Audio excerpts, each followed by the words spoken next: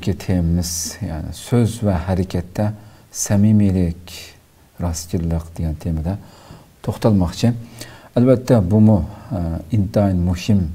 amallar. Nurg'un insonlar mushu samimiylik bo'lmaganlik sababidan e, dinimiz nurg'un sifatlaydi bir inson tog'dak yaxshi amallarni insonlarning nazarida ko'zida qilib o'tishimiz mumkin nurg'un kishilarning maqtashiga erishishimiz mumkin e, madiyalarga erishishimiz mumkin. Ammo bu sifat robbimiz talab qilgan dinimiz talab qilgan bu samimiylik rostchilik bo'lmaydi ekan. Dunyo qadar bir ish qilsakmi natijada alloh dargohida erishadigan hech bir narsa qolmagan shaklda qup quruq berib qolgan gapimda. Shuning uchun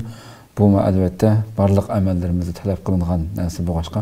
buni texmi bir inchki bir shaklda tushunish uchun o'ltiribdiq oldi bilan biz shu amallarimizdagi mayli qanday amal bo'lsa shu samimiylikniki ahamiyati haqida o'qib boshlasak أعوذ بالله من الشيطان الرجيم بسم الله الرحمن الرحيم الحمد لله والصلاة والسلام على رسول الله ثم أما بعد السلام عليكم ورحمة الله وبركاته alloh subhanahu va taolo bugungi ramazon oydagi qilayotgan ibodatlarimizni qabul qilsin inshaalloh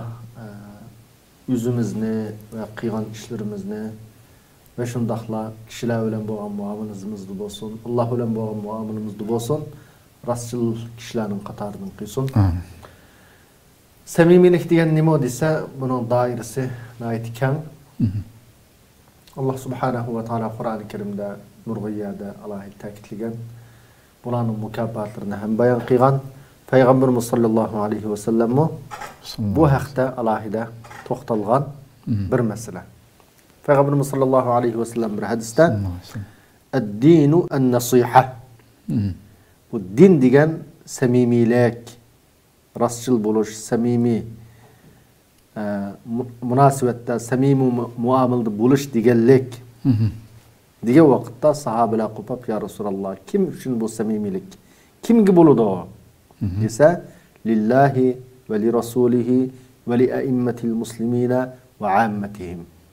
eng birinchi samimiylik alloh subhanahu va taolo uchun bo'lishi lozim ya'ni alloh subhanahu va taologa ibodat qilishda rostchillik bilan ixlos bilan ibodat qilish lozim allohga hech qanday sherik keltirmaslik lozim alloh subhanahu va taoloning buyruqlarini to'liq ijro qilishga tirishish alloh cheklagan ishlardan qudratining yetishishi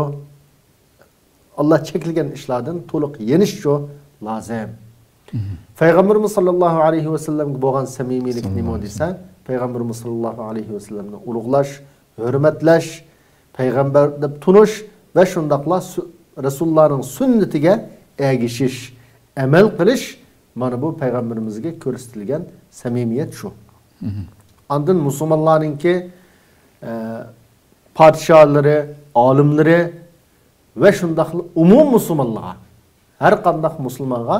samimiy bo'l deganligi uni gap so'zda samimiy bo'lash muomilda samimiy rostchil bo'lash